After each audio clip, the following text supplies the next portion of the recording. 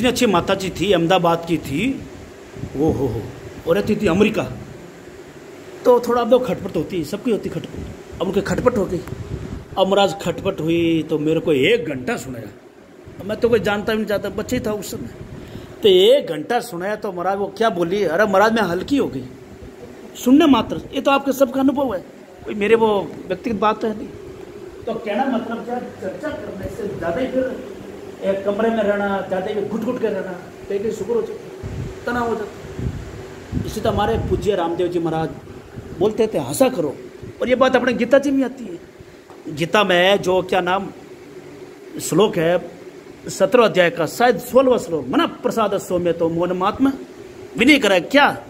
बोले प्रसन्न हो जाओ। आदमी को प्रसन्न रहना चाहिए। मैं तो कई घरों में घूमता हूँ राम कृपा से। राम कृपा से बाहर भी चला गया कई छह देशों में।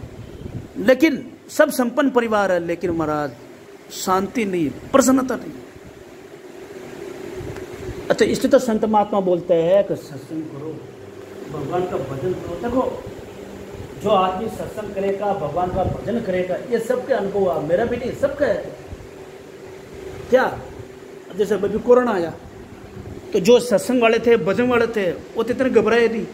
लेकिन जो बेचारे सत्संग नहीं किया कभी पता नहीं किया, खाली बस ऑफ़िस में दौड़ लगाई, नौकरी करी, वो करी, वो बेचारे सब कोई तो सदमा में चला गया। कोई तो हार्ट अटैक हो गया, चले गए सब। तो एक सत्संग क्या है, अपने को एक बल है, सहारा है।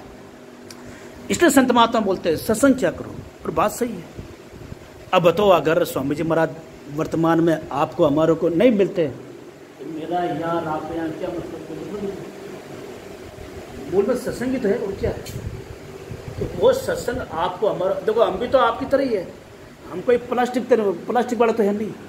जो रामचरित मानस में आया छिति जल पावक गगन समीरा पंच रचित यह छिति जल पावक गगन समीरा पंच रचित आधम शरीरा। कोई तो शरीर है, मुझे याद है स्वामी जी महाराज के पास में, ऋषिकेश में, कोई भाई आए दर्शन के लिए। महाराज जी ने पूछा, मारवाड़ी में भाई कैसे आए आप? क्या महाराज, आपके दर्शन के लिए आए हो। तब महाराज जी ने इशारा किया मारवाड़ी में बोले, बोलो, ओ चमड़ो और वो चमड़ो एक ही है.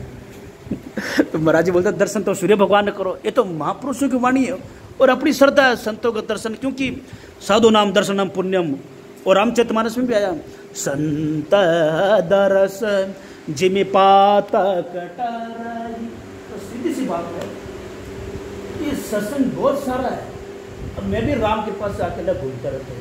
कोई आ गया ना कोई पीछे। लेकिन राम कृपा से सत्संग मिला जैसा अपन कोशिश करते हैं तो काम हो रहा चल रहा काम। तो कहना मतलब क्या इसलिए तो संत लोग बोलते हैं सत्संग क्या करो? सत्संग बहुत बड़ा बल है।